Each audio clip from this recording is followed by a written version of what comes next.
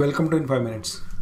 Now we'll be writing a program to multiply all numbers in a given array with a given number n.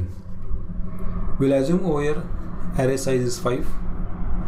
Then we'll input 5 values in the array.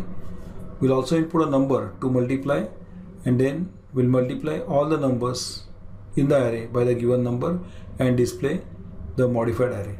Now our program will start obviously with defining an array of size 5 then some i variable as a looping variable that is index variable and some n variable as a number to multiply all the numbers in the given array.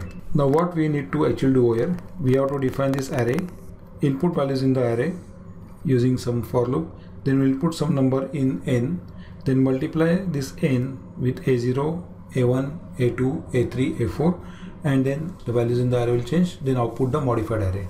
First you have to understand the question exactly what we are supposed to do because sometimes the array questions are a bit confusing. So let's start.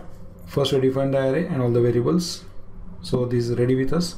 Then this loop will input five numbers in the array. First message will appear, enter five numbers and the loop will start inputs A0, A1, A2, A3, A4. Let's take an example numbers as 5, 2, 7, 8, 3. Some values are input. Now obviously after that we need to input n also. For that we'll add printf, enter number to multiply and scanf will input the value into n. Let's take an example value of n is 3. So you have to multiply a0 with n, a1 with n, a2 with n, a3 with n, a4 with n.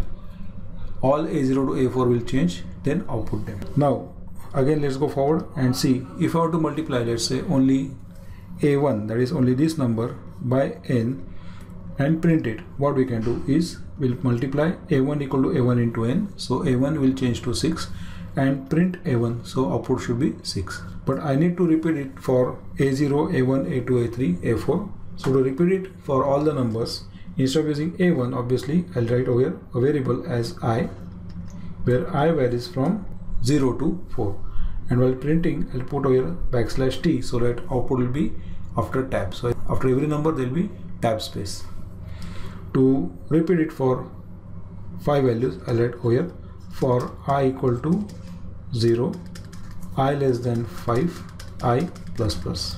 Now these kind of loops we have done in previous videos. So just understand how it's going to work. As the loop will start over here i will be set to 0 this will multiply a0 equal to a0 into n. So a0 will change to 15 this will print a0 that is 15 then tab then again i becomes 1 condition is true. It multiplies a1 equal to a1 into n. So a1 changes to 6 prints 6 with tab. Again i plus plus occurs. I becomes 2 let's go slow and understand. Now condition is true. This a2 is equal to a2 into n. So a2 multiplied by n that is 7 into 3 occurs. A2 changes to 21 and then this prints a2 so it prints 21 tab again i plus was occurs. I becomes 3 this time a3 equal to a3 into n occurs. So a3 multiplied by n changes to 24 outputs a3 prints 24 tab. Again i plus was occurs. I becomes 4 condition is true. Multiplies a4 equal to a4 into n. So it changes to 9 and then prints a4 so it prints 9 tab. Then i plus plus was occurs. I becomes 5 and the loop will stop. So this loop stops and we got the output as 15 6 21 24 29 as a final resultant array. Then obviously we'll put one more curly bracket to finish main. So that is how we write a array program with loops. Like I saw here we run a printf command with for loop to input number of five values. And here uh, one more for loop to process data in the array and output the values in the array so whenever we want to work with array, we need to write some kind of loop to process all the values in the array.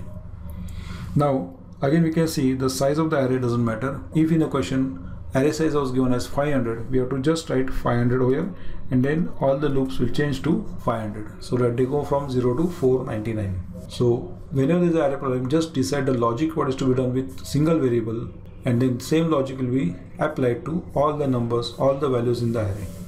So just decide what is to be done with one AI and then repeat it for all the numbers. Thank you.